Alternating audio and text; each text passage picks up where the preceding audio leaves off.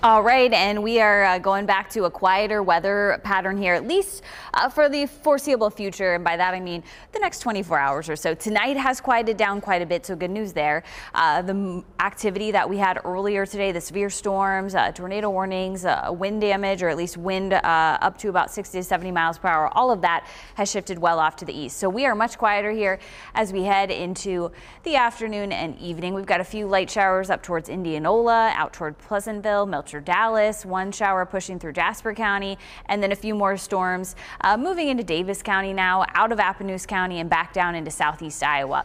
Picked up a lot of rainfall here today. Totals running anywhere from one and a quarter inches up in Ankeny, close to two inches here in Des Moines, but we overcame two to three inches, not even close to four inches out towards Pella this afternoon mainly from the rain that we got during the second half of your Tuesday. Check out some of these other totals. This is rainfall just from today, close to an inch or over that in Waterloo and Decorah, Dubuque coming in with some big totals. And then we had quite a bit of rain falling out towards the Omaha Council Bluffs area late last night through this morning and into the mid morning hours. So these totals range anywhere from three quarters of an inch up to about three to four inches in some spots. Locally heavy rainfall kind of just uh, really brushing up against the I-80 corridor here and just points southward here in the metro area. That's where we saw some of those higher totals and some flash flooding concerns earlier today. Good news is most of the tornado watch has been allowed to expire and then the flood watch and flash flood warnings that we had in place for central Iowa also have been allowed to expire. So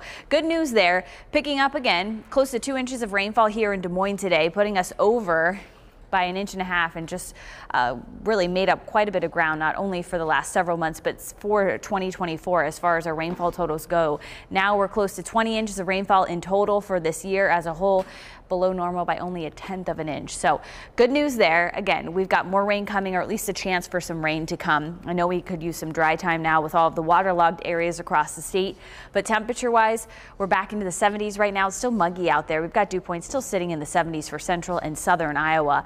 I think as we go through the next 12 hours, it's quiet. We head into the day tomorrow. We're back up into the mid 70s as we head through the mid morning hours. And again, dew points are going to stay up there Wednesday and Thursday. So I still think it's fairly sticky out there. Humidity gets a little bit better by Friday and Saturday. So the rest of tonight is quiet. We head into the day on Wednesday. We start off with some sun, mix of sun and clouds. Tomorrow, maybe a stray storm across northwest Iowa Wednesday evening, but we're dry here for central Iowa tomorrow. We head into the fourth. We could see a quick shower or storm early on Thursday, and then the chance for a few more isolated to scattered storms is possible Thursday afternoon.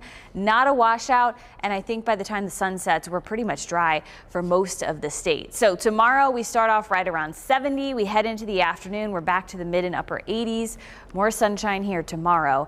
Tonight's forecast drops us down only into the low 60s. We get into the day tomorrow, mid and upper 80s out there. Again, more sunshine, still a little bit of humidity out there, a little mugginess. Thursday and Friday, we're back into the upper 70s to low 80s. First part of the weekend looking good. A few storms roll back in by Sunday.